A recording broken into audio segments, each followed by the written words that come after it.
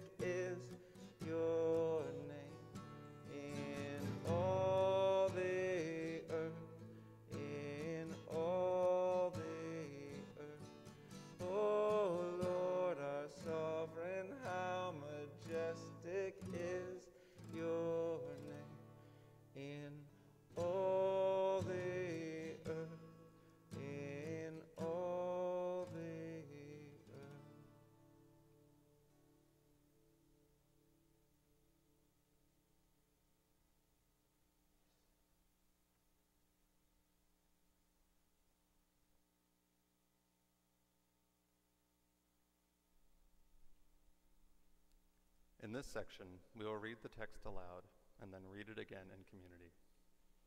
Hear now the word of God. O Lord our sovereign, how majestic is your name in all the earth. You have set your glory above the heavens.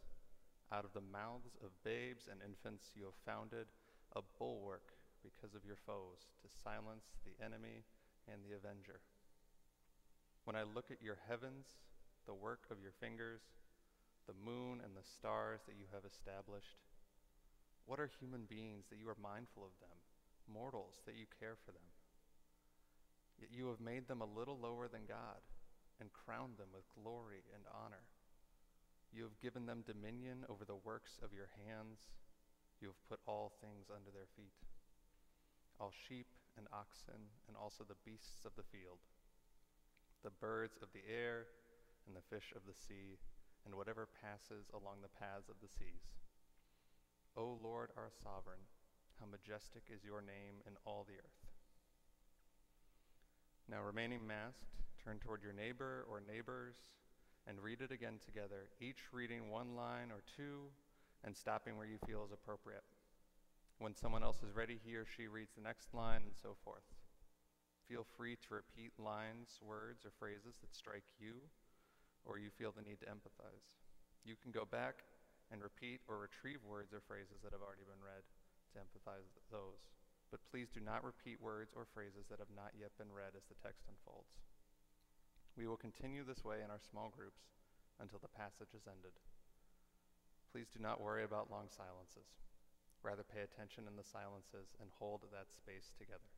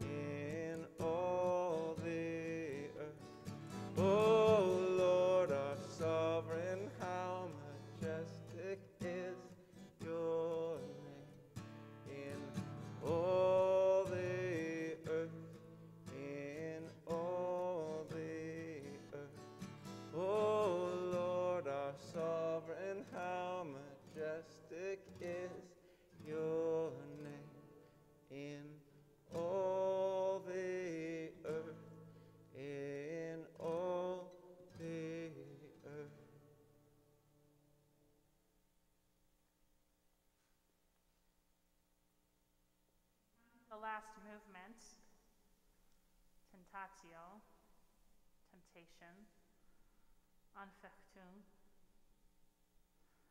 About this, Luther Seminary professor Dirk Lange writes in Today Everything is Different. In prayer, I am being disrupted in my life, in my context. And in that disruption, in the midst of that struggle, I discover God coming down. The incarnate God comes down and encounters you and me and the community here. Martin Luther teaches us that the Word is not a means to an end or a journey to take us somewhere else. The Word comes down to us, and indeed, the Word, Jesus, has come down for us. Spirituality sits with us where we are, as we are, surrounded by others as they are, in the messy imperfections and joys and hustle of our daily lives.